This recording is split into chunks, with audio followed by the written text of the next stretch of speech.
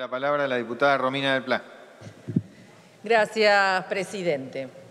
Bueno, resulta un poco eh, distorsionado que estemos discutiendo aquí un presupuesto que no solo que no guarda relación con la realidad, no hace falta que yo explique que 102 pesos el dólar en diciembre de 2021 este, raya casi en una acción graciosa, si no es que fuera eso un operativo especial para disimular la devaluación en marcha, la mega devaluación en marcha, mientras se está discutiendo este presupuesto.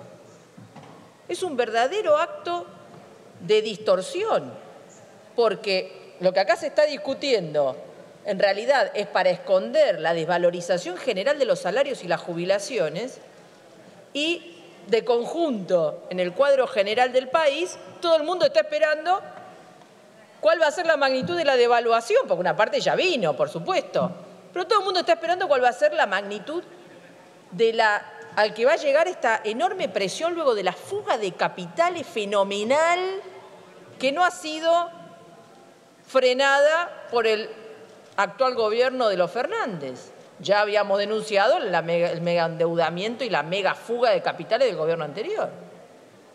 Entonces, este tema es importante, porque lo que está pasando de verdad no está reflejado en este presupuesto. Este presupuesto es para distraer. Entonces acá uno dice, ay, se aumentó la partida tal, la partida cual. Verso. Todas las partidas que aparecen aumentadas en realidad son disminuciones porque estamos frente a una desvalorización del peso que es brutal. Entonces, acá el que se quiere engañar, que se engañe. Pero la realidad es esta.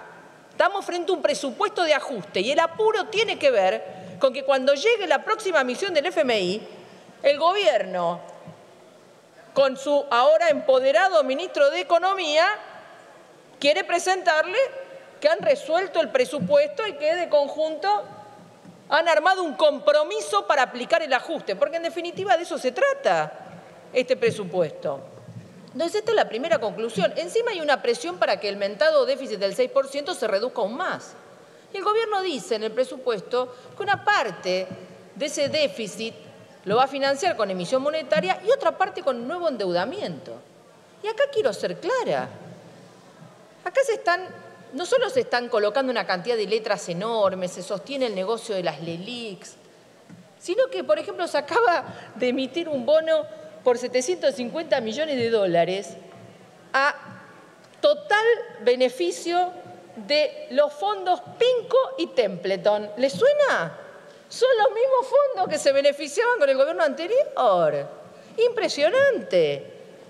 Hay un negociado con el dólar a futuro donde ya se han vendido 5.600 millones de dólares. Es impresionante el nivel de, de, confiscación a los asalariados, porque de eso se trata, es fenomenal. Los negociados para los bancos son impresionantes. Eso es lo que tenemos que estar discutiendo. ¿Cómo evitamos que se siga confiscando a los trabajadores que con la excusa de la pandemia se han agudizado todos los ataques? Acá ya hemos hablado del avance de la reforma laboral, del avance de la reforma previsional, pero ahora con el presupuesto volvemos al mismo tema. Entonces tenemos el negocio de las LELIX y demás, y entonces después tenemos al ministro de Economía que no sabemos si tiene algo con la industria farmacéutica o qué, porque nos quiere mandar a calmarnos a todos. Vamos a calmar la economía. Yo supongo que pensará que va a repartir calmantes, porque la economía, lejos de calmarse, no para de alterarse para el conjunto de los asalariados. Esa convergencia fiscal y monetaria de la que habla el ministro no se trata de otra cosa que un megajuste. Y de eso tenemos que hablar. Incluso tenemos que hablar del enorme agujero fiscal que va a significar esto que ya anunció el presidente Alberto Fernández, de que una parte del swap con China, recordemos, un swap es un acuerdo monetario entre dos países que si se mantiene entre esos dos países no tiene intereses, pero si esos, por ejemplo, esos yuanes se cambian a dólares, pasa a tener un interés del 7%. ¡7%! Es un interés brutal. Y dijo Alberto Fernández que va a cambiar 2 mil millones de dólares con una tasa de interés del 7%. Si esto no son intereses leoninos, no sé qué son. Pero además todo esto presiona sobre el peso. Y como acá ya han dicho otras diputadas y diputados, es impresionante, pero hay un tema del que el, presupuesto no menciona, que es el tema de los salarios. Fantástico. Los salarios tienen un peso importante porque recordemos que las paritarias de los estatales nacionales están congeladas.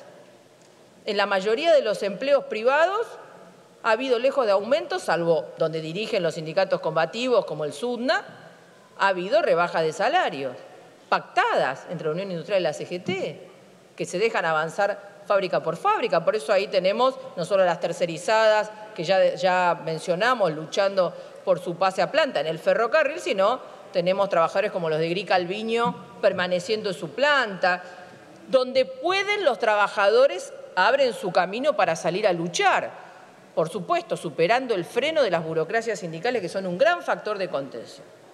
Entonces, yo no me quiero detener más en este tema fundamental, pero quiero avanzar en otros aspectos. Acá se ha dicho que este es un presupuesto, el primero en la historia que tiene perspectiva de género. Habráse visto tamaña caradurez. Habráse visto tamaña caradurez, y lo tengo que decir así. Empecemos por evitar, por terminar con el freno al tratamiento del proyecto de aborto 2020, que no solo prometieron, sino que frenaron que se trate el proyecto de la campaña. Y después hablamos de política con perspectiva de género. Pero además no le podemos admitir que sumen entre lo que se supone gastan para la atención de las mujeres y la diversidad. Por ejemplo, ¿cuántas mujeres trabajadoras de la salud cobraron el bono de 5 mil pesos por, por, trabajar en la pandemia? Es un escándalo, eso es la política de género. Encima que le pagaron solo 5 mil pesos a aquellos pobres que lo cobraron. Impresionante. Es inadmisible que se hagan esas cuentas estadísticas transversales. Bueno, a lo mejor sirven para algún sociólogo, pero para atender y resolver el problema de la mujer trabajadora, que bajo la pandemia y bajo la cuarentena está haciendo un esfuerzo fenomenal en un marco de desocupación creciente y de depreciación salarial, es impresionante. Y ni hablar de la crisis habitacional. Y por eso, ¿qué ocurre?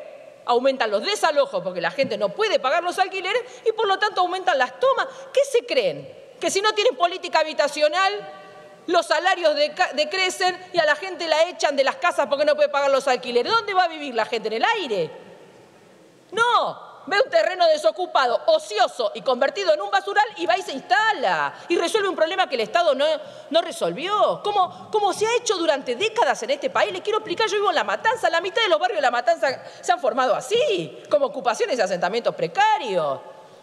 Porque la falta de política habitacional recorre todos los gobiernos. Es una constante. Política de Estado, eso que les gusta tanto hablar. Política de Estado, falta de política habitacional. Entonces la gente hace como puede. Y después vienen y amenazan con desalojo. Ahí tenemos a Bernie otra vez en el prime time, ¿no? Diciendo cuánto policía va a juntar para palear a mujeres con chicos que no tienen dónde vivir. Impresionante. Esa es la política de Estado que tenemos, porque aparte en este presupuesto yo quiero llamar la atención a los que dicen que se aumenta la política, el presupuesto para la política habitacional. Es un escándalo. Y además es un escándalo porque todos saben que además es un ministerio que no pasa nada. Le sacan partido porque no pasa nada. Lo único que pasa es que la gente no tiene dónde vivir. Entonces, ¿de qué estamos hablando? Jubilaciones que hemos escuchado a diputados diciendo que se ha defendido las jubilaciones por arriba de la inflación. Por favor. ¿Creen que con un bono que pagaron algunos meses, con jubilaciones que están por abajo de los 20 mil pesos, o sea, un tercio de la canasta de emergencia del jubilado, eso es una política social que haya que aplaudir? Y sin mencionar que eso lo han pagado con lo que no le pagaron a los que cobran un poquito más, un poquito más. Y ahora quieren aprobar la ley al servicio del FMI, que es dejar para siempre la confiscación imponiendo una nueva movilidad. Entonces pasan los gobiernos, pasa uno, cambia la, movilidad y, roba algo, pasa otro, cambia la movilidad, roba algo. Ahora del 82% móvil, nada. De reponer los aportes patronales que se han ido eliminando, todo lo contrario, todo lo que se ha votado en este Congreso este año han sido nuevas exenciones impositivas para las patronales. Ahora, de blanquear a los trabajadores en negro para dejar de financiar el ANSES, ni una palabra. Aquí se ha dicho que se aumenta el gasto en educación pública, no lo puedo creer. Habló el presidente de la Comisión de la Conectividad. Por favor, no solo se ha disminuido el presupuesto para las universidades, acá no liberaron un dato, un gigabyte para que haya conectividad gratuita ni para un alumno ni para un docente en todo el país.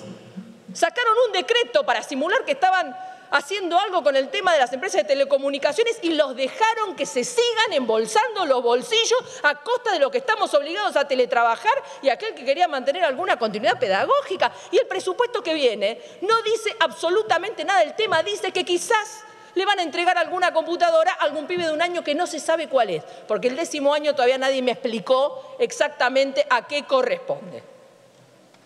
Entonces son unos estafadores. Estafadores. ¿A quién le quieren contar que van a aumentar qué? Y lo que aumenta sí son los gastos tributarios, que son las exenciones impositivas a las patronales a las que le tienen que cobrar impuestos y se los perdonan. Fantástico. 26 fondos fiduciarios, o sea, 26 fondos cajas negras administrados, vaya uno a saber por quién, y encima con la mano de un montón de privados. Y para terminar, el último festival, miren, es impresionante, impresionante. Los subsidios a, las petroleras y a las gasíferas, además de los subsidios al transporte, además no tengo tiempo para, para dedicarme a eso, lo podemos mencionar en un ejemplo. Un almuerzo el fin de semana en la Quinta de Olivos. Impresionante. Paolo Roca, de Tecpetrol Techín, Bulgeroni, de Pan American Energy, con el presidente y varios ministros de todos los sectores para que se vea que es todo el arco gobernante para discutir el Plan Gas 4. ¿En qué consiste el Plan Gas 4? En que detienen el plan de lucha de las petroleras, es fantástico, plan de lucha de las petroleras que consiste en no sacar el gas de los pozos que tienen asignado a cambio de una montaña de subsidios. Diputada, montaña, ya, estoy cerrando. Montaña de subsidios. Impresionante. Las petroleras hacen un plan de lucha para que lo sigan subsidiando. Ahora, los trabajadores petroleros tienen que soportar a una burocracia del gremio que entrega sus convenios. Fantástico. Por supuesto, esto tiene un límite. Este tiene este, esto tiene el límite de que efectivamente la magnitud de la crisis y del fracaso en el que estamos, lleva a la organización de las trabajadoras, los trabajadores, los jubilados, los desocupados, los sin techo, los estudiantes. Y este es el llamado que hacemos del Partido Obrero y del Frente de Izquierda, a la organización independiente en cada lugar de trabajo, a poner en pie un plan de lucha y un proceso de movilización popular que entronque con las rebeliones populares de Chile, de Bolivia, de Estados Unidos y de cada lugar donde las masas explotadas se levantan para enfrentar estos planes de ajuste del FMI y de los gobiernos que son sus lacayos. Muchas gracias, señor presidente. Gracias, diputada.